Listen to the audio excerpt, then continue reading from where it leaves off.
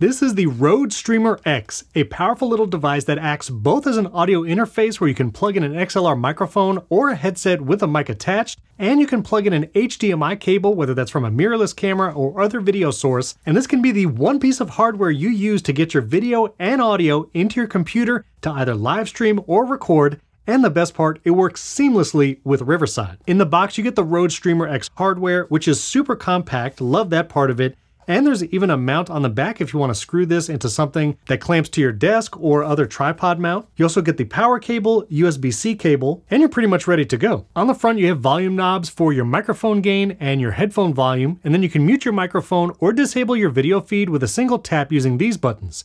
And you can even program some sounds on this pad, and those will go into the stream or recording as well. As far as connections on the back, you have the XLR microphone you could plug in right here, phantom power button, that's what this is right here.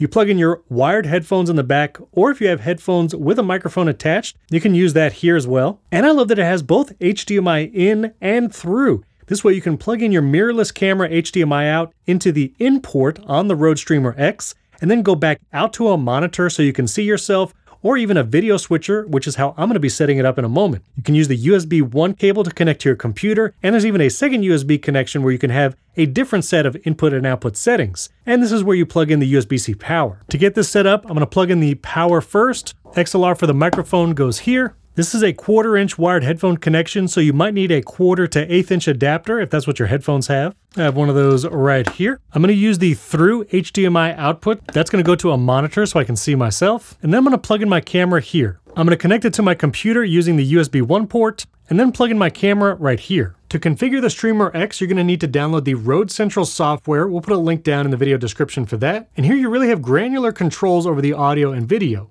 Here in the audio setup, you can select whether to pull audio from the microphone, a headset with a microphone, or even a wireless source. We're using an XLR microphone, so I'm going to leave it here. And both of these sliders will decide how much volume to send to the stream or to my computer, and how much of that volume will be heard in the headphones.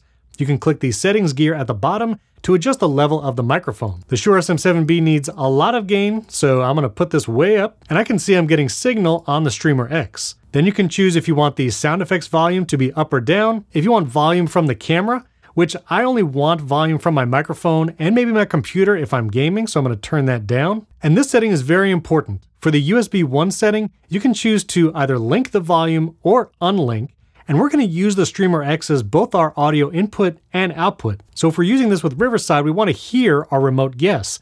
So I'm going to turn the USB audio up in the headphones, but leave it down here in the live stream. If you were to turn this up, your remote guest in Riverside will hear an echo. So we want to keep that down, but turn the USB up in the headphones. And again, it has to be unlinked here in order to do that. And here's the second USB source you can use as an additional input-output device. Maybe if you had a video game system hooked up, you could raise the volume both on that so you could hear it in your headphones and it would be in the live stream. But I more often record podcast and video content, so I'm going to leave that volume down. Going back, you can go into the device configuration, which basically just gives you brightness over the buttons. But that's all you have to do to set up the Streamer X. Now let's go over to Riverside to show you how to use it for recording.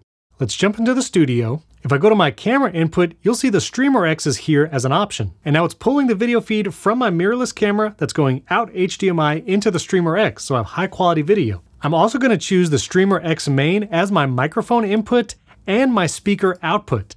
Make sure you have a pair of those wired headphones plugged into the Streamer X this way, this can be your all-in-one device, video and audio. Select I'm using headphones, and now let's join the studio. Now you can see my video feed is here in Riverside, the microphone is getting signal here on the right-hand side, and I would hear my remote guest with headphones through the Streamer X. One device for both audio and video here in Riverside. Super convenient. Now one quirk with the Rode Streamer X, it is supposedly capable of 4K video up to 60 frames per second. Right now we were recording in 1080p high definition resolution, but if I go to my studio settings here in Riverside, if you're on one of our upgraded plans, you can go to up to 4K video here in the studio settings. But for some reason the Rode Streamer X seems to not support 4K at this frame rate. It's the same studio frame rate as the 1080p version here in Riverside, so I've reached out to Rode and see if they could fix this in a future software update. So you won't be able to use the 4K mode right now, but if you see that message, just go back to 1080p here in your studio settings, and you'll see your video reappear here in the studio. The Rode Streamer X is $400. You can get it directly from Rode or on Amazon. I'll put links down in the video description.